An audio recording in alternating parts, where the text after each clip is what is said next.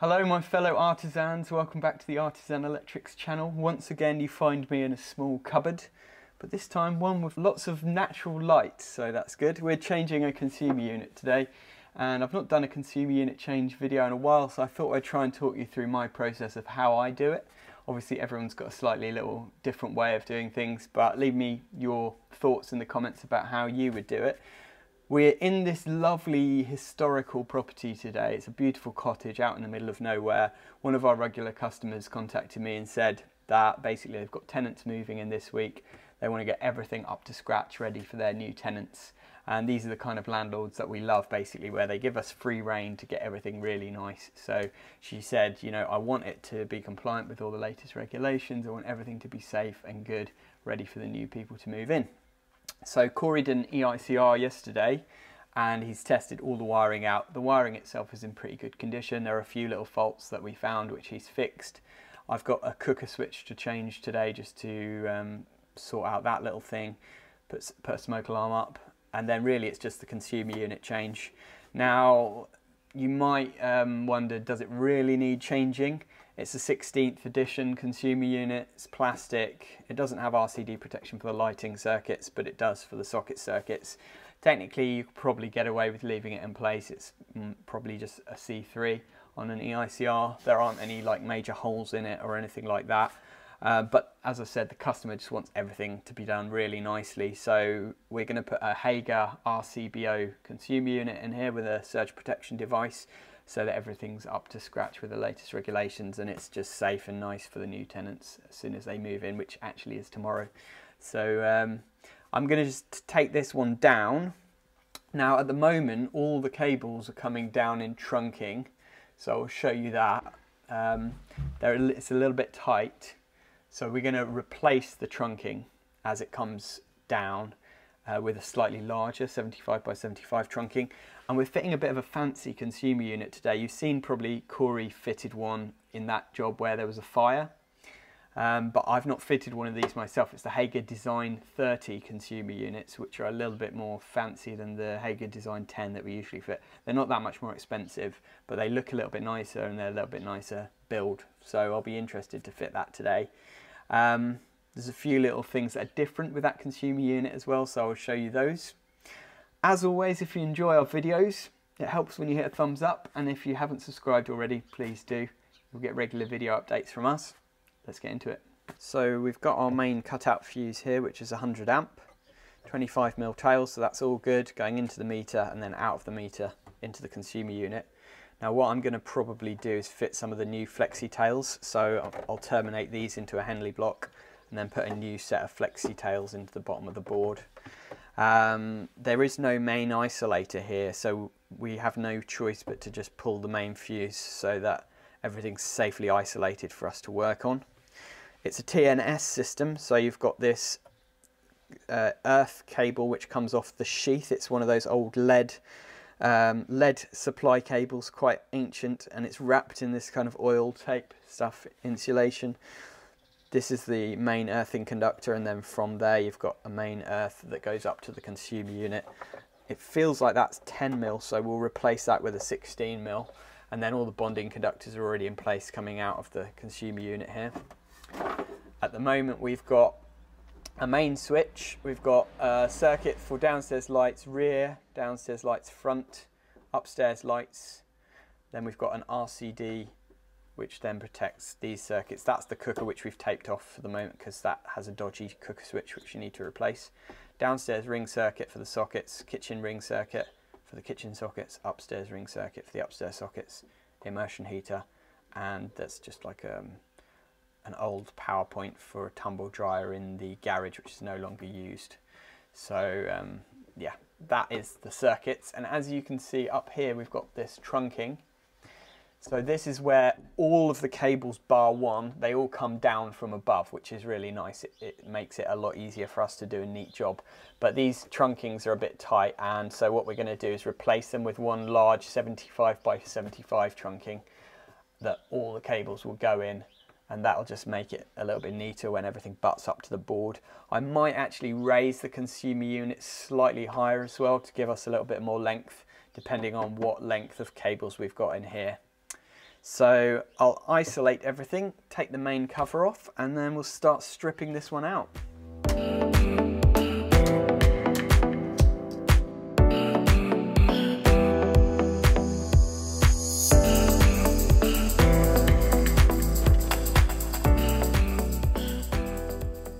So it's not the neatest consumer unit here, but I've seen a lot worse. The cables look fairly modern. It looks like they're LSF actually, which stands for low smoke and fumes because they've got this white insulation. Um, and essentially there's quite a lot of length in here. So that's helpful for us when changing a consumer unit. The only thing is the neutrals are quite short because they're on the left and the CPCs are on the right. Whereas in the Hager board, the neutral bar is on the right and the CPC bar is on the left. So that might cause us a problem, although we've got RCBOs, so these neutrals are going to be coming straight out of the RCBOs instead. Um, so what I'll probably do is raise this up slightly so that that gives us a little bit more length. What I like to do is prep the board first, get the tails connected in and stuff, um, and then strip this out and tidy all the cables up neatly in the right order, get them all nice and straight and stuff because it makes it a lot easier to dress them in neatly.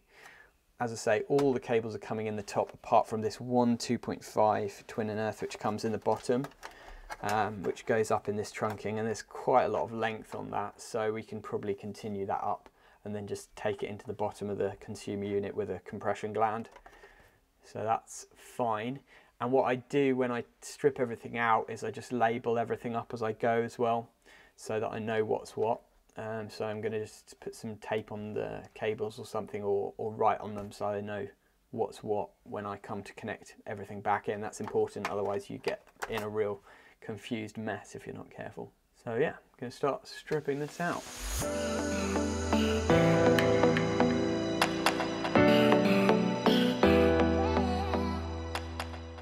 So um, these are the old tails. Now they're they're pretty long. There are they are long enough to go into the new board, but they're just really stiff. I don't really like working with these old style tails, so I think I'm just going to replace them anyway. Um, but I've disconnected them from the main switch now, and I'm just going to pull them out. They've stripped the insulation back quite far on them anyway, as you can see. Usually I'd leave it all the way up to the main switch because in a metal consumer unit you need the tails to be double insulated otherwise they're going to have to be RCD protected so um, yeah that's that's a thing but we'll pull these out and then all of these outgoing circuits now are all labelled up. As you can see I've just written on them what the description of what the circuit does so I know what's what and I can literally just rip this off the wall now and um, then just start getting rid of this old trunking and tidying tidying everything up.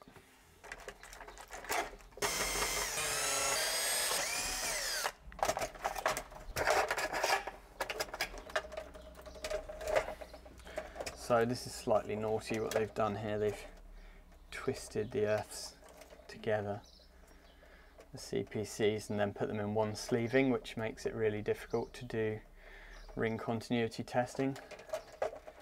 So I'm going to untwist those now. Uh, they've done the same with this. I guess like some people think, oh, if I do that, then it makes it obvious which which conductors are, you know, for each ring because they've twisted them together. But just makes it impossible to do ring continuity testing at the consumer unit so then you have to go and do it at the the end points, like at the actual socket outlets or whatever.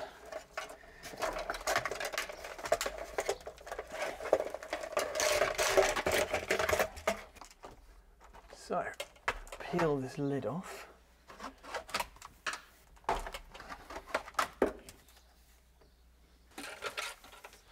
Right, so what we can do now is measure a nice length of 75 by 75 trunking, cut that off, butt the consumer unit up to it, mount it uh, to the wall. I'll have to cut a hole in the top of the consumer unit to bring the cables in with a bit of grommet strip. And then we can mount the consumer unit to the wall. It's a little bit crumbly, this wall. It's the old bricks, the old red bricks, which are quite soft. But uh, we'll get some good fixings on that anyway. I've got some quite long screws. So that should do the trick. It's surprising actually how thick a bunch of cables like this is, but those will fit nicely in the 75 by 75 trunking. So that will be absolutely fine. So this is our new consumer unit, slightly uh, narrower than the old one actually, but as you can see it's quite a beautiful thing with this nice, this nice lid and everything. Um, but my thought process is that I want to raise this up as much as I can so that I've got plenty of length on these cables. So I also need enough space to get a compression gland in the bottom here for the tails. So that will stick down fairly far. So I need enough space to get that in and get the tails in neatly from below. Um, I can probably reuse these tails if I want to, but I've not decided yet if I'm gonna if I'm gonna do that or put a Henley block in. I mean, I could put a Henley block in here and then use flexi tails into the board, which will just enable me to terminate them a little bit easier. It doesn't add an extra joint in here, but it also means that they've got access then if they ever need to come off of it with a new board somewhere. Not that they probably would, because I've got plenty of spare ways in this one, but um, that's me just thinking out loud. So I reckon that is probably a good height because that's going to give me enough length inside the consumer unit for all the cables to be terminated directly into the uh, breakers without me having to extend any of them. This one can go into the bottom of the board and it's going to be long enough to go to any breaker as well so that's perfect I won't need to extend that one either so I think that that is about the right height. Um, so what I'll do is get my level on it and then just make a line on the top so I know where the trunking needs to come to. Because the trunking is going to come straight down here. And then I'm going to have to cut a hole in the top of the board here to bring all the cables in so get it level roughly draw a line on the wall here where the trunking will butt up to and then we'll do kind of a a mark where the slot needs to be to bring the cables into. Then I can measure from that line up to the top to where the cables will come into the trunking. So going to be about 110 centimeters or 1100 millimeters. That was about right. So I'll cut my trunk into that length, mount the trunking to the wall, strip these cables back, cut the holes in the consumer unit, mount that up and then start dressing everything in.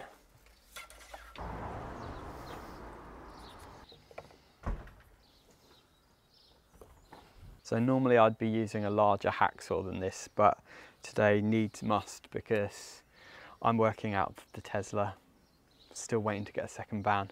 Corey's got my main van and he needed the big hacksaw today. So it is what it is, we're using a miniature hacksaw. But I think it'll do a neat, neat enough job anyway.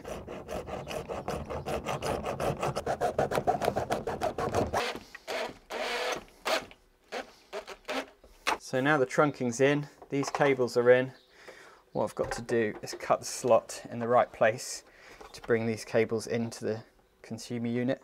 So I reckon that is going to be about right. And what I've got is a 40 mil hole saw somewhere.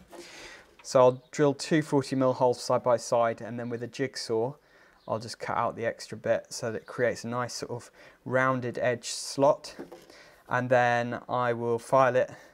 I'll use my pen reamer as well just to um, just to tidy that up a little bit. Then I need to cut a 40 mil hole in the bottom here as well for the tails to come in and then a 20 mil hole in here to take that extra 2.5 twin and earth into the bottom. Once those holes are all drilled and everything, Then I can mark the fixings up and drill the fixing holes on the wall, get it all mounted up and start tidying these cables up. I'm going to strip these back further so that they come probably the sheaths will come just inside the consumer unit. I've not decided yet. I might even just take them inside the trunking because then it's even neater and easier to dress the cables. Um, but yeah, nice and neat bunch of cables that, so should be fairly easy to dress these ones.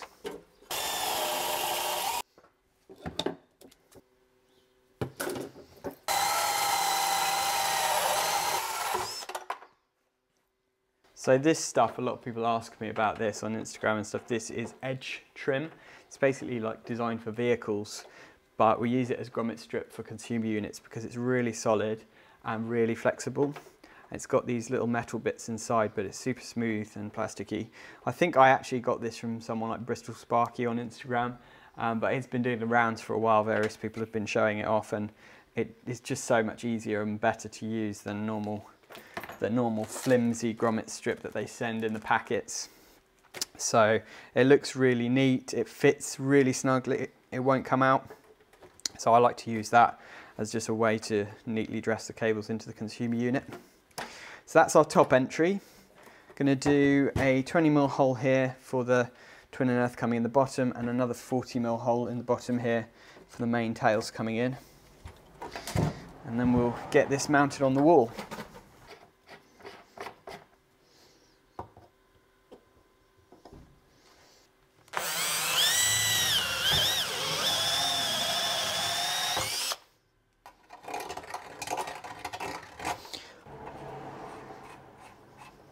So we use these flexi tails. These are an absolute game changer. Basically they're, they've got a lot more strands than the normal tails that you, the traditional tails that you get. So they're a lot more flexible and it just makes it easier to terminate these neatly into the board because in general the normal 25 mil tails are just super stiff so these are really, really nice. And most wholesalers stock these now. So I would recommend if you're using tails, just use these. They're not much more expensive and they are absolutely so much better and easier to work with. Um, I'm going to pre-terminate these tails into the consumer unit while it's on the ground. It's just easier to do it that way than trying to do it afterwards when it's already mounted on the wall. So using my Wiska tails gland here, I'm just going to feed the various tails in. Now, the in the main switch here, you've got a line conductor on the left and neutral conductor on the right. You can see that they're labelled up there. So I usually do the same order when I take them into the gland at the bottom. I take the line in on, on the left and the neutral on the right so that they sort of line up.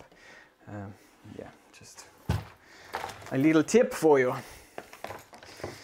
So this just goes in the gland. Slide these across a little bit to make some room and then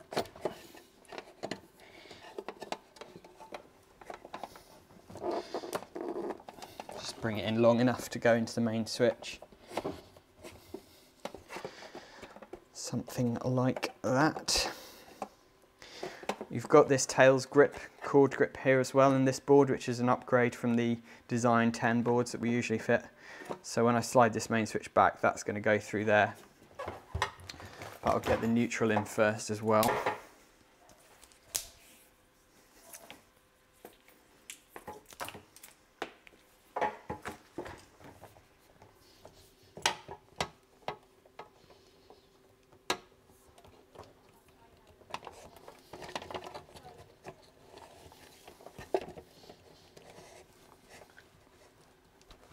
You just get them roughly long enough and then strip the ends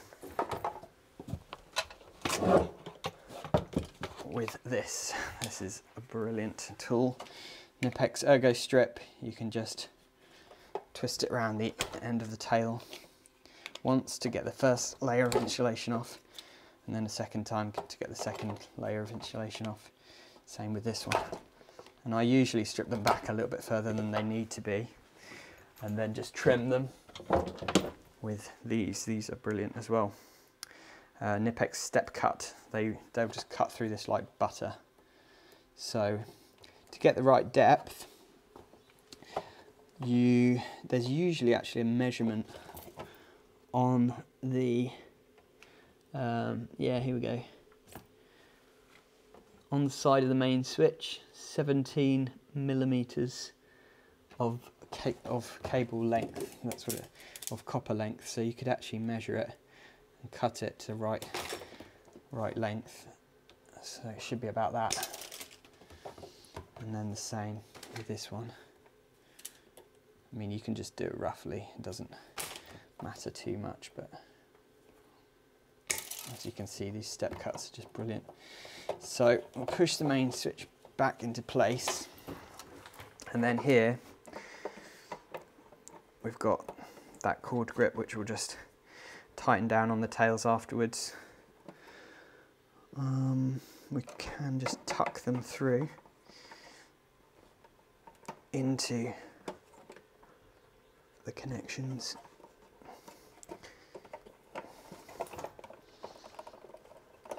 Just got to push that across slightly. There we go. Might need to loosen loosen that screw a bit.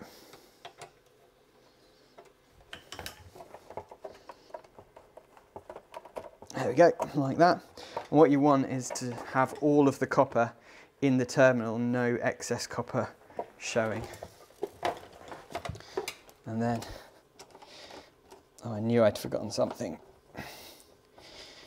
Term, my torque screwdriver. There we go. That's that one.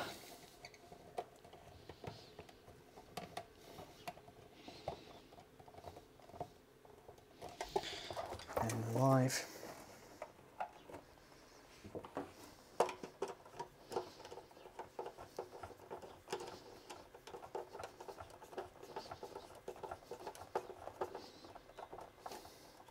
and then this just tightens down to actually clamp those cables in place to stop them from ever pulling out if anyone put any strain on them. Sort of belt and braces really because you've got this as well. So someone, you know, that's going to be tight. Someone have to pull, loosen that, pull those and undo that in order for the tails to come out. So they're really, really secure, which is great because you never want these, these tails to come loose. Otherwise it could cause a big problem. So that's the line and neutral tails in. We'll get the 16mm earth cable in as well now.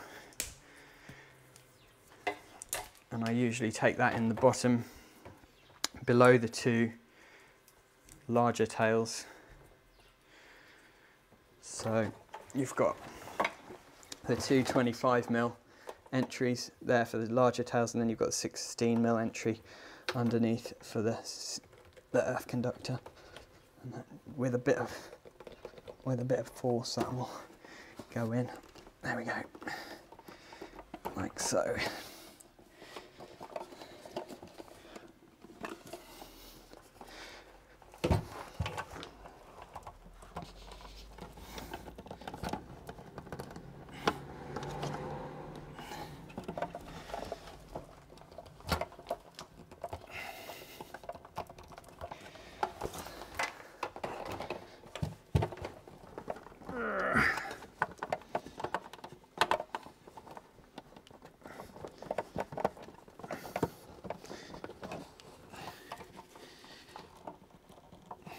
we are. And the earthing conductor for the consumer unit goes into this terminal here. So we just need that to be long enough to, to dress neatly into to that point. So that'll, that'll do, that'll do nicely.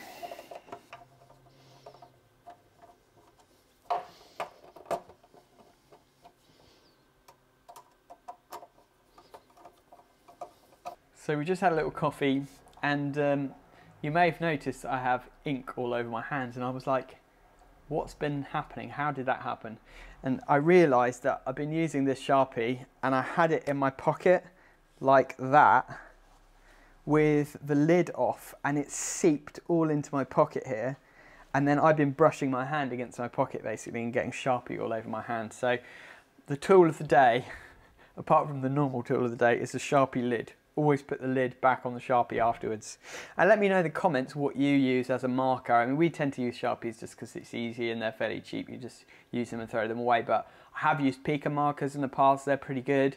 I know that some of you guys use some other ones. So let me know in the comments what markers you recommend for working. Um, so the board is about to be mounted. That is the next stage now. So this is all kind of prepped and ready to go. Trunking's on the wall. So what I've got to do is just mount, sort of offer this up against the wall, mark the holes, drill the fixing holes. Then I'm going to strip, strip back all the cables, uh, neaten them up, and then finally mount the board up and dress everything in. So this is tool of the day. This is the Jackery uh, Explorer 240 power bank. It's a 220 watt hour power bank. So far today I've charged two Makita batteries off of it and I've still got 54% battery. So this is an absolute game changer when you're changing consumer units or doing EICRs and you want to keep the customer's Wi-Fi going, for example. Absolutely brilliant thing to have and it's not that expensive. So I'll leave a link in the description where you can get one of these. I did a feature video about this recently as well, which you can see on the channel. If you want me to dive uh, and do an in-depth video about that, I'll put that up here somewhere um, and you can watch that full video. But this is a brilliant thing and that's tool of the day today. So I'm going to strip these cables just long enough so that they come into the board, the sheath of the cable comes into the board. I'm going to do the same with all of those so that they're all pretty much at the same length. And to do that, I like to use this wherever possible. This is a twin and earth cable stripper and it just has a really nice action and it strips the cables properly. So it's um, quite a good thing to have this. I don't know if it'll work on six mil. Oh, it's a bit tough that. Oh yeah, but it does work, so that's cool.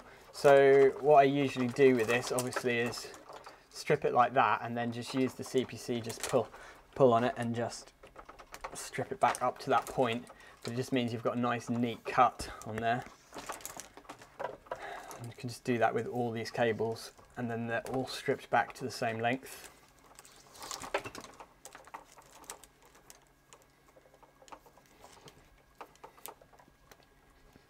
I know some people are against using the CPC. They say like you'll stretch it or something, but I've never had a problem with doing it that way. Um, so I think it's a bit of a myth that, that that's really an issue. But this is just quicker, so I use this because it's quicker and it does a neat, a neater cut than if you were to just strip them with um, side cutters. So before I put the board on, usually what I like to do is as much as possible just straighten the wires here. And there's a really easy way to do it. Just warming them up with your hands but you need really a pair of gloves or um, or like I'm using now a cloth this is just a microfiber cloth if you just rub your fingers up and down on them you warm them up and then you get them nice and straight and it just makes it a lot easier to dress everything in with really perfect bends. A lot of people ask me like how do you get your bends on your conductors so neat and it's just by doing this. This is my trick basically um, that I do. So if you see that, you know, that's got a few kinks in it. But then if I rub my hands up and down it, now that is straight as anything. Um, and that's what you've got to do in order to get them really nice and neat. So for example, with this one, I could just bodge it into the consumer unit like that, but that'd be hard to straighten up afterwards. But if I just run my hand up and down it a few times, like that, that is now straight as a die and it's like a brand new cable basically so it, it will make it a lot neater when it comes to terminating it into the consumer unit. Takes a little bit of time but it's worth it in my opinion to get a really nice finish on, on the consumer unit.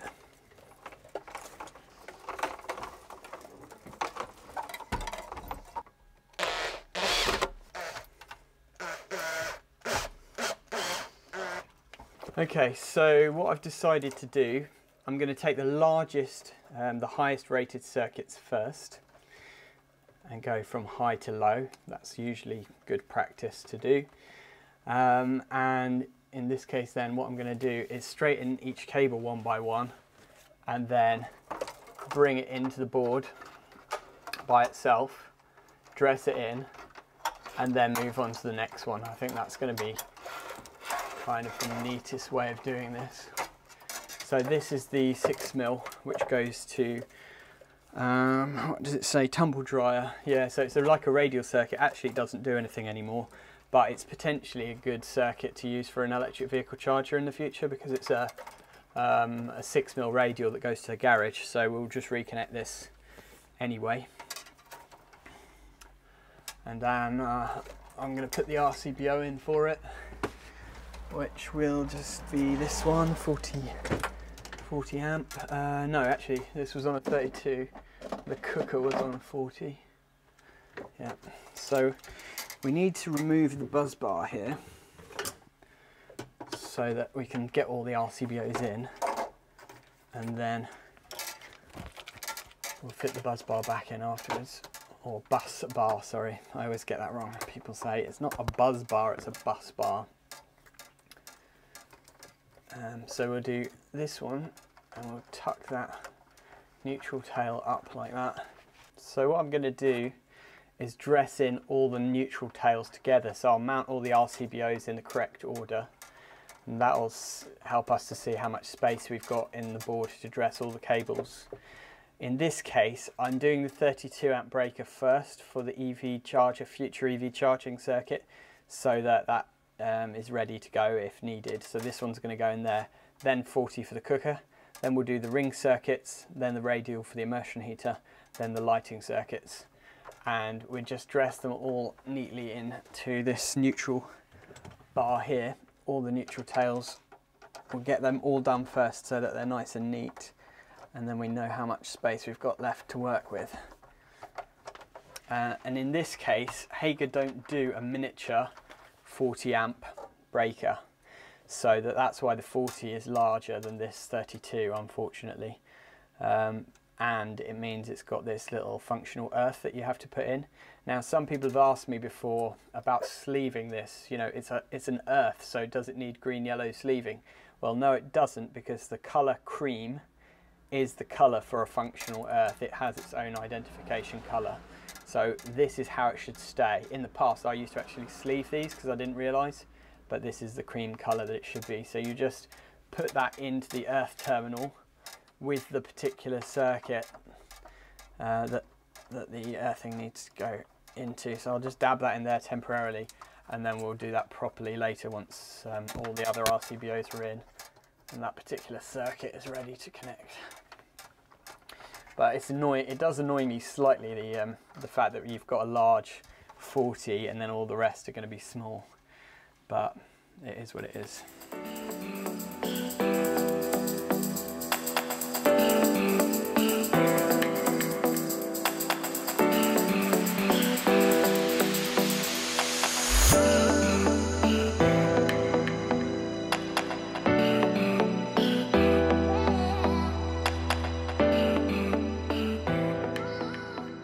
Guys, so where we're at now is all the RCBOs are in and all the neutral tails are dressed in nicely.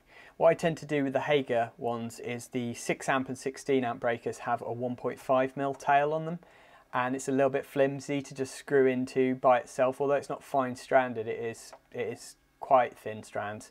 So I usually put ferrules on those ones but the larger ones have a I think it's like a 2.5 or 4 mil tail on them so, and they're tinned copper, like the ends are like already crimped, so you don't really need to put ferrules on those. So I don't usually bother with those ones, I just do the 1.5 tails.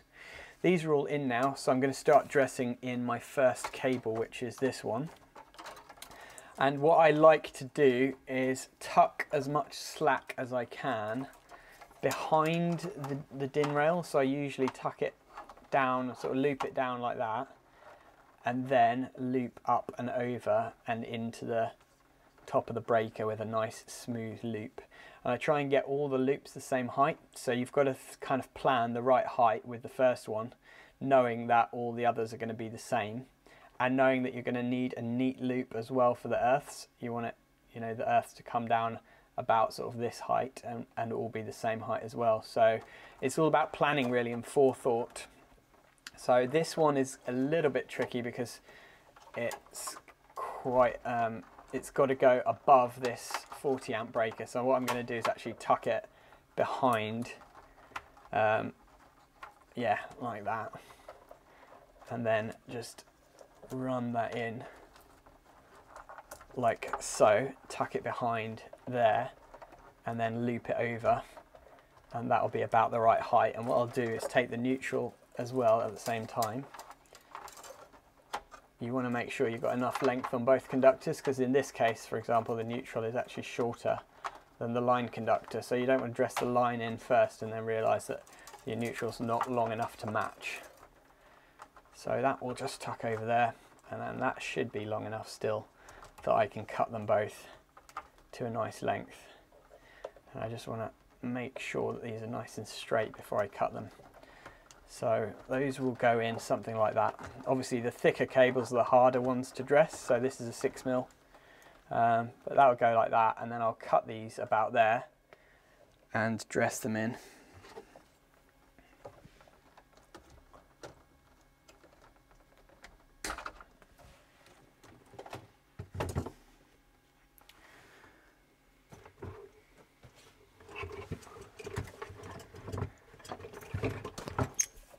and I'll use this tool to just strip the ends off. Making sure to not cut into the copper at all, that's important. Like so.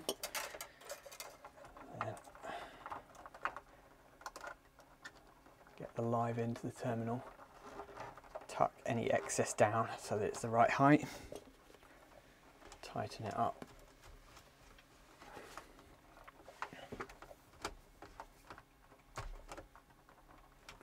and then do the same same with the neutral.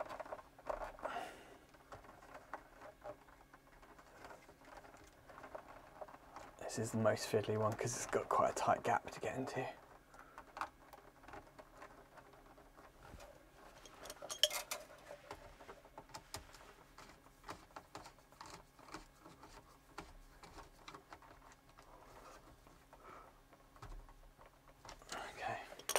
So those are a little bit out of sync, but what I can do now is, now that they're in the terminals, I can just twist them slightly, bend them slightly. They're flexible enough to do that and get a nice neat loop on them and then hide any other slack behind the, the back of the DIN rail. So that is fairly neat, I'm happy with that. And then that's going to be pretty much our line all the way across. Obviously these ones are going to be a little bit tight loop because you've got less space and then these ones will be a nice large loop going into them. So you might wonder like what's the point in actually getting it all nice and neat and everything because you know you're going to put the cover on and basically probably nobody's going to see it for a while. But for me it's all about a few things. It's about pride in your work. You know, being able to stand back and look at something and go, that is the absolute best I could do and that looks beautiful and it's safe and it's functional. You know, it's not just about because you could sort of chuck it in and it would still be safe and functional, you know, it'd work and it would be safe as long as all the connections are in properly. But it's nice to stand back and feel proud of what, you, of what you've done. And also, if anyone takes a cover off in the future and they have to add a new circuit, and maybe that's me, hopefully my customer's happy with me and that'll be me when, when they need more work doing, it makes my life easier in the future because I can easily wire in a new circuit to this consumer unit without having to sort of wade through a jungle of tangled wiring. And when you do add a new circuit to a really horribly done consumer unit, you do feel like you're polishing a turd a little bit. You know, you're just working with something that's a bit of a mess. And for me, when I see a board like that, I usually just kind of feel like ripping it out and starting again, but usually you can't. Would have been so much better if it had been done nice and neatly in the first place. So for me, that's the sort of reasoning behind when you do a consumer unit, take your time, do it really nice and neatly and dress everything properly and do your absolute best. It's worth it in the long run. And talking about neatness, you know, it really, if you work neat, it contributes to you being a good, a good tradesman, having a good reputation. So being a good tradesperson is not just about like doing good, safe work, but it's about working neatly and then there's the other side of it where it's all about being organized as well, like having good customer service, being organized in the way that you book in jobs and things like that. And that takes us to uh, today's video sponsor, which is Tradify. So Tradify is a job management software for tradespeople, including electricians, and it basically helps you to get all your work schedule organized.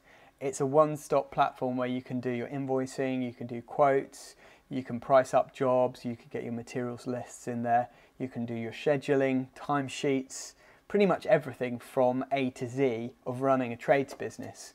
So it's a great piece of software and if you look at the link in the description you can get 50% off Tradify for your first three months using my discount code in the description.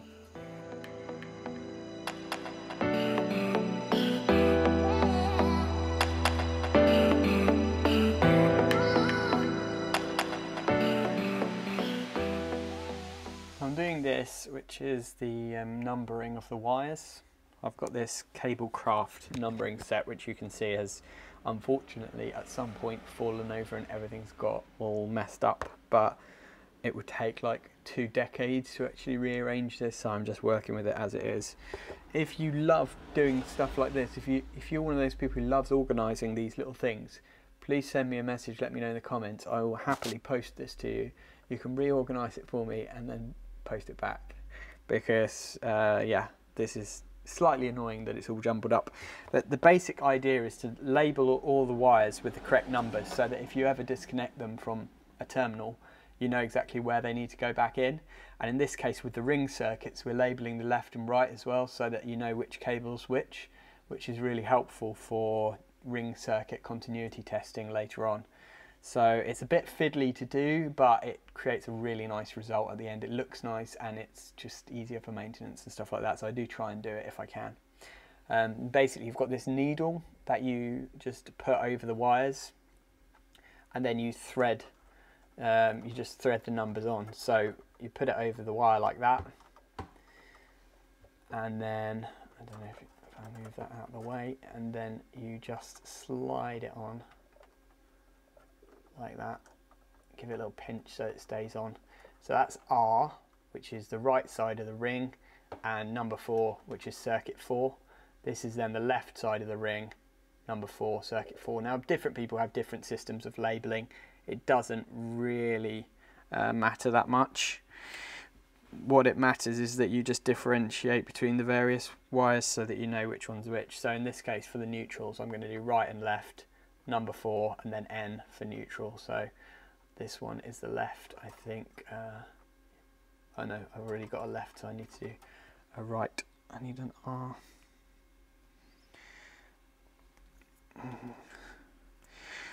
Try and find an R in my jumbled up box. Here we go, here's an R.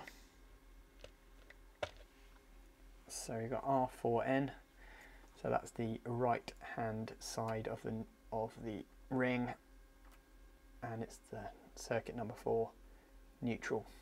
So little tip for you, what I like to do is use this thin sleeving, it's I think 2 mil sleeving and it just makes everything look neater. It fits easily over the, um, the CPCs on most of the cables unless you've got like a 10 mil cable with a 4 mil um, uh, CPC in it, then this is fine. And what I tend to do is slide it down like that, and then you, in order to cut it to the right length, I just pull on it like that, and you can feel the copper inside. So you know that that's the end of the copper. Then I slide it back slightly, just by enough of what I want to cut off, bearing in mind that I'm going to double it over. Then I cut it there, and then slide it back, and that gives me exactly the right amount of length that I need and then I just double it over like this. And that's that's nice and neat then. The fact that it's such thin sleeving it just makes it a lot easier to dress everything neatly. So we're getting there. We've just had some lunch so about halfway through the day. It takes time to do it really nice and neatly as you can see with these numbers and stuff. It's quite fiddly but the result is really nice in the end so it is worth it a um, couple of things to say about this. Now this is a kind of a how-to video, but this is intended for qualified electricians not, or trainee electricians, not for DIY uh, people because changing a consumer unit is not a DIY job. Um, this is notifiable to the building regulations. So after changing a consumer unit, we have to um, self uh, certify under the Part P of the building regulations. We have to provide a building regulations certificate for the customer. We have to provide a full electrical installation certificate for the customer as well to certify that everything's safe, that it's all been tested out, etc. So this is not a DIY job, and so nobody who's not a qualified or trained electrician should be doing this. I just wanted to make that clear. So just going to finish these ones up now and then start um, kind of put the trunking lid on and then just start uh, testing.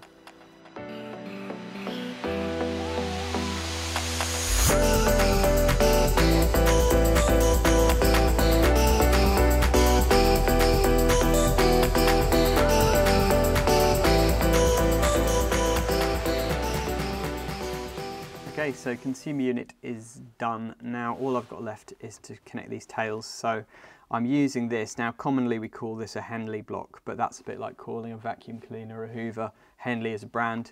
This is a 100 amp double pole connector block basically. It can take from 4 mil squared to 35 mil squared conductors and it's rated at 100 amps. So we're going to put that here and then terminate these tails into it and then the, these are the tails coming out the meter which will go in there and it's essentially just to join it up without having to cut the, cut the meter seal um, and, and, replace the meter tails. So that's just going to go on there. The main earth conductor here will go down to this main earthing terminal down here which is already in place and then we can liven it up and start um, doing some tests.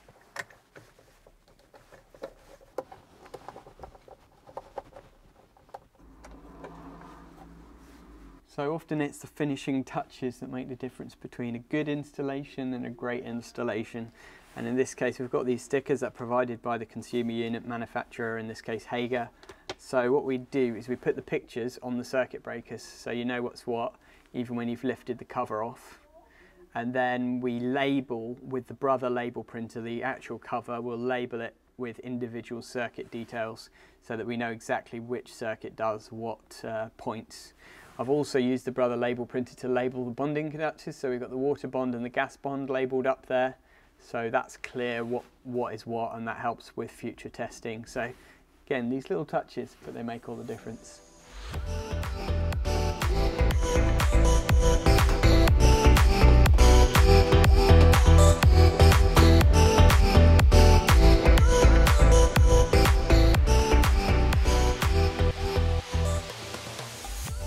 So we're all done. Everything is tested and safe and working. Main switch on, all the breakers on. And everything's all labelled up, so it's nice and neat. We've got our test label on here to say that it was tested today and it's due to be done again in five years time.